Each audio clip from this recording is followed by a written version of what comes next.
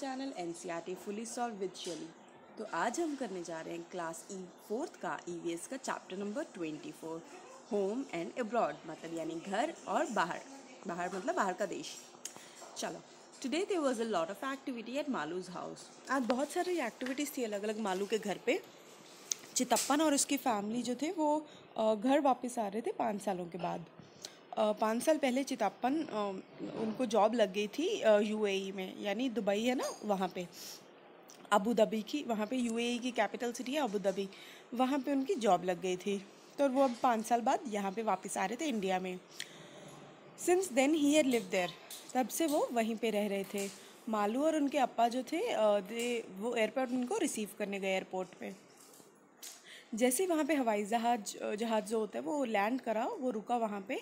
Passengers को wait कर रहा था, जो वहाँ पे ट्रैवल कर रहे थे उस प्लेन में ताकि उनको कुछ टाइम लगता क्योंकि लगेज उनका कलेक्ट करना था। लगेज मीन जो भी टैची वगैरह सामान होता है, वो सारा अलग जगह से मिलता है। तो फिर वो वहाँ से निकल के वहाँ पे जाते हैं, जहाँ से सामान उठाना होता है। At last Chitappan, Kunjamma and their two children could be seen coming out उसके बाद जो ये सब है, चितप्पन, कुंजम्मा और उनके दो बच्चे, वो बाहर आते हुए दिखे एयरपोर्ट से। तो अपा कहती है कि शांता और शशि कितने बड़े हो गए हैं। इतने में ही बहुत सारे सूट केसेस और बैग्स जो थे वो हमने टैक्सी में फिल करे और हर कोई जना मालू के घर के लिए रवाना हो गया है। शांता, आप बहुत थक गए हो गए इस जर्नी के बाद अपा ने कहा कि कि Appa told me that Abu Dhabi is far from India तो मालू कहती है कि अबू, पापा ने मुझे कहा कि अबू धाबी तो बहुत दूर है इंडिया से और सच में बहुत दूर है। So we are not tired even though it is far. A flight took only two hours, said Shanta. तो शांता ने कहा कि हम थके हुए नहीं हैं हम बहुत बेशक बहुत दूर हैं लेकिन हमें सिर्फ़ दो ही घंटे लगे और क्योंकि प्लेन जो है वो बहुत तेज़ उड़ता है तो मालू सरप्राइज़ हो गई बिल्कुल हैरान थी उसने याद किया कि जब वो स्कूल ट्रिप में गई थी चेन्नई के वहाँ पे उनको बारह घंटे लग गए थे ट्रेन में और मैप में तो कोची और चेन्नई बिल्कुल पास पास लगते हैं तो Malu, Shanta and Shashi chatted all the way home from the airport तो वो तीनों बातें करते आए एयरपोर्ट से। मालू को याद था कि कितनी मस्ती करी थी उसने अपने स्कूल ट्रिप्स में। So she wanted Shanta to tell them about her trip from Abu Dhabi तो वो चाहती थी कि आप मुझे अपने ट्रिप के बारे में भी कुछ बताओ। Dust all around did you see many interesting things from the plane Malu ने पूछा कि क्या तुम्हें वहाँ से बहुत सुंदर सुंदर चीज़ें दिखती हैं? तो वो कहते हैं, शांता, कि नहीं मोस्ट ऑफ़ द टाइम मतलब ज़्यादातर तो हमें सिर्फ़ बादल ही दिखते हैं वहाँ पे, क्योंकि प्लेन जो होता है, वो ऊपर बहुत ऊपर उड़ रहा होता है। इवन क्लाउड से भी, बादलों से भी ऊपर उड़ रहा होता है। But before it went so high कि, लेकिन इससे पहले कि वो और ऊपर जाए हम देख सकते हैं कि जो we were flying over sand areas कि हम ये जो इन एरियाज़ के ऊपर चल रहे थे मतलब उड़ रहे थे। It was sand but the colour of the sand kept changing रेत तो थी वहाँ पे, लेकिन जो रेत का रंग था वो बदलता जा रहा था। कभी वाइट कभी सफ़ेद था, कभी भूरा था ब्राउन कभी येलो हो गया, फिर रेड हो गया, फिर ब्लैक हो गया। We saw mountains made only of sand हमने जो माउंटेन्स थे वहाँ पे बने हुए, वो सिर्फ़ रेत के बने हुए थे। They are called sand dunes तो उनको क्या कहते हैं? Sand dunes added Shashi sand dunes क्या होते हैं? जैसे ऊपर नीचे नहीं होते, मिट्टी के पहाड़, रेत के पहाड़? उनको सैंड ड्यून्स बोलते हैं। I have seen sand only at the sea shore said Malu Malu कहती कि मैंने तो रेत सिर्फ़ वहीं पे देखी है जहाँ समुंदर के पास होती है। तो चितप्पन कहता है कि तो फिर फिर तुम्हें दुबई आना चाहिए हमारे पास। जो कंट्रीज़ है अबू धाबी के पास आसपास वो पूरे डेजर्ट एरिया में है मतलब रेतीय इलाके में है।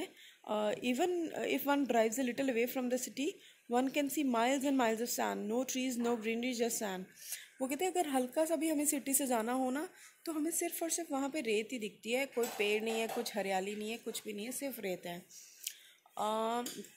कुछ जम्मा कहते हैं कि मुझे याद है, मैं सपने लेता होता था हरी हरी हरियाली का कूल वाटर कि मेरे घर के आसपास हो केरला में। But I am so happy to see all this after such a long time पर मुझे बहुत अच्छा लग रहा है, मैं इतने टाइम बाद ये सब देख रहा हूँ। The children have almost forgotten बच्चे बेशक भूल गए हैं कि कैसा लगता है जब बारिशें आती हैं। You know it almost never rains in desert areas क्योंकि जो रेती इलाके होते हैं वहाँ पे uh, बारिश बहुत हार्डली होती है होती ही नहीं है। चितप्पा ने ये बात बोली। तो पानी कितना प्रेशियस है वहाँ पे और कोई रिवर नहीं है कोई बारिश नहीं है कोई लेक्स नहीं कोई पॉन्ड्स नहीं है। Even below the ground there is no water क्योंकि वहाँ पे uh, ज़मीन के नीचे भी पानी नहीं है।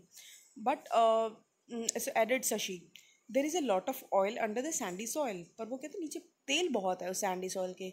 So petrol is easily available petrol बहुत आसान से अवेलेबल है। पेट्रोल पानी से भी ज़्यादा सस्ता है वहाँ पे, चितप्पन कहता है। तो by this time the taxi had reached Malu's house इतने में जो टैक्सी थी, वो मालू के घर पहुँच गई। शांतु और शशि जो थे, वो सरप्राइज़ हो गए। इतने फ्रूट ट्रीज देख के coconuts banana jack fruit papaya ये सब देख के कि इतने सारे पेड़ हैं। तो शशि कहती है कि हम वहाँ पे तो सिर्फ़ हमें एक ही तरीके का पेड़ दिखता था, date palms. Because it is the only one that can grow in the desert the date is the most common fruit तो वहाँ पे जो डेट होती है, वो सबसे ज़्यादा कॉमन फ्रूट है, यानी खजूर। ठीक है, अब गिफ्ट्स एंड फोटोग्राफ्स आफ्टर इतने में वो सबको मिले कंजूमर ने अपने बैग्स खोलने शुरू किए अनपैक करने शुरू कर दिए। और वो सबके लिए गिफ्ट्स लेके आए थे। तो उन्होंने सबको डेट्स दी हर एक को खाने के लिए, यानी खजूरें। और जो खजूर थी वो बहुत स्वीट और बहुत टेस्टी थी, मीठी थी। शशि ने शो किया मालू को कुछ नोट्स और उनके कॉइन्स तो शांता एक्सप्लेन करता है कि मनी जो वो वहाँ पे अबू धाबी में यूज़ करते हैं, वो अलग है और उसको दिरहम बोला जाता है। वहाँ पे इनके ऊपर कुछ अरेबिक में उनकी जो लोकल लैंग्वेज है, उसमें कुछ लिखा होता है। उन्होंने काफ़ी सारी फ़ोटोग्राफ्स भी दिखाई जहाँ पे वो रहते हैं। तो चितपन ने मालू को ग्लोब दिया। वो कहते, देखो, मालू, अब आप तुम ढूंढो अबू धाबी कहाँ है? लोकेट केरला केरला भी ढूंढो और अबू धाबी भी देखो। The children enjoyed playing with the globe and look for different places on the globe तो बच्चों को बहुत मज़ा आ रहा था, वो खेल रहे थे उससे। मल्लू को चेन्नई भी मिला और कोची भी मिला। और शाम को हर कोई वरांडा में बैठ गया ठंडी ठंडी हवा देखने के लिए और फोटोग्राफ्स को देख रहे थे। उन्होंने देखा कि अबू धाबी की जो बिल्डिंग्स हैं, वो बहुत बड़ी बड़ी लंबी लंबी हैं। बहुत सारी उसमें स्टोरीज़ हैं मतलब बहुत सारे फ्लोर्स हैं और बड़ी बड़ी ग्लास विंडोज़ हैं।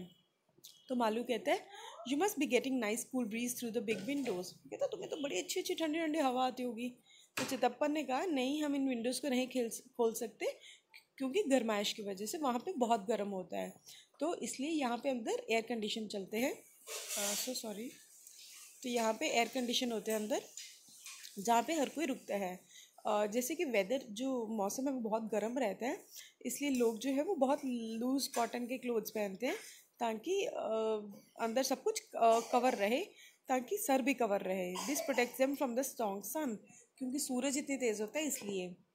Malu enjoyed looking at the pictures Malu को बहुत मज़ा आ रहा था ये पिक्चर्स देख के।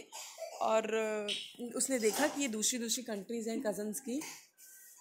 शी कॉन्स्टेंटली कैप्ट कंपेयरिंग उसने, वो अपनी कंट्री को कंपेयर करती रही। बहुत सारी चीज़ों के साथ जो अबू धाबी में थी। उसने डिसाइड करा कि एक वो प्रोजेक्ट रिपोर्ट बनाएगी अबू धाबू धाबी पे अपनी क्लास के साथ। ठीक है तो अब आपको भी एक रिपोर्ट बनानी है अबू धाबी पे और उसको कंपेयर करना है जहाँ पे आप रहते हो। ठीक है, आप कुछ ही नीचे पॉइंट्स दे गए हैं, वो कवर कर सकते हो कि मौसम वहाँ का कैसा है और आप जहाँ रहते हो वहाँ कैसा है।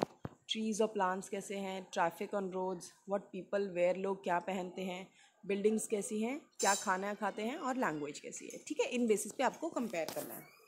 तो नेक्स्ट है व्हाट डू यू थिंक इसमें मैं बता देती हूँ, आप लिख सकते हो the climate here we live is cold where is the climate of Abu Dhabi is very hot ठीक है? The trees and plants are of ये जो भी नीम, जो भी लिख सकते हो आप, कौन से कौन से आपके पास अवेलेबल है, और वहाँ का लिख सकते हो the trees that are grown in Abu Dhabi is date tree date plants right date के ट्री तो डेट पाम ट्री लिख सकते हो आप। ठीक है, इस तरीके से आप लिख देना। So why do you think many trees cannot grow in desert areas तो जो रेती इलाका होता है, वहाँ पे ज़्यादा सारे पेड़ क्यों नहीं उग सकते? Many trees cannot grow in desert as there is a scarcity of water क्योंकि वहाँ पे पानी की कमी है।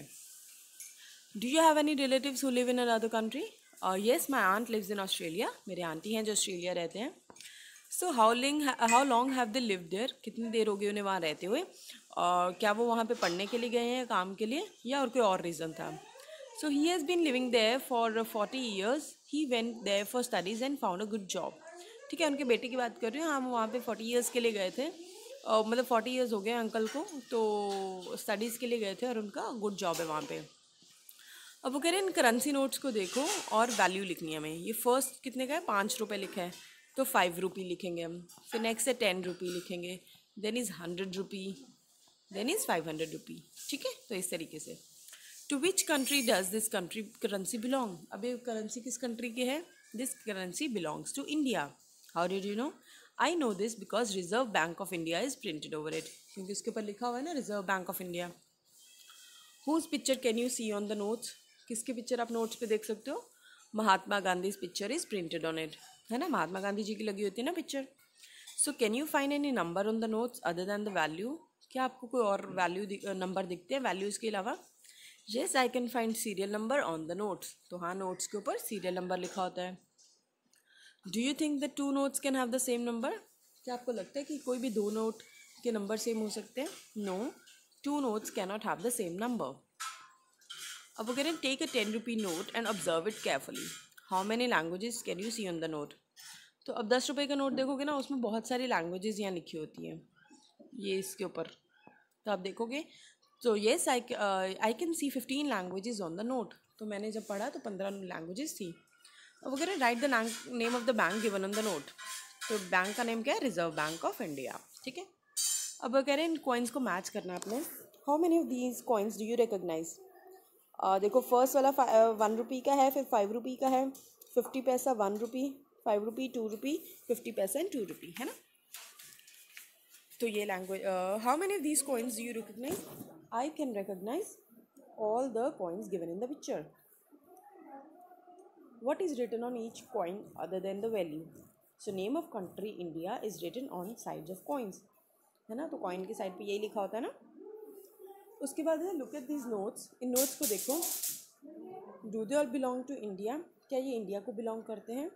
Put circle around notes that are not Indian find out which country do belong to ठीक है, अभी कुछ नोट्स दे रखे हैं। आपको बताना है इंडिया का कौन सा है और जो इंडिया का नहीं है, उसको क्रॉस करके या राउंड करके आपको बताना है कि ये कौन सी कंट्री का है, ठीक है? फ़र्स्ट है England then India third USA का है। क्योंकि इंग्लैंड में ये पॉन्ड चलता है, ठीक है इंडिया में रुपीज़ यूएसए में डॉलर फिर यूएसए का वन डॉलर है। फिर ये ओमान का है फिर इंडिया का है फिर China Oman China China China India England ठीक है? तो इस तरीके से है इससे हमारा चैप्टर फिनिश हो जाता है। बहुत सारे बच्चे हैं जो अभी भी सब्सक्राइब करे बिना चले जाते हैं। मेरी बहुत सी मेहनत लगती है। तो please guys help me in subscribing the channel अगर आपको अच्छा लगता है तो। सो so, कुछ और कंटेंट है? आपका maths English EVS already solve है राइट तो till then take care bye have fun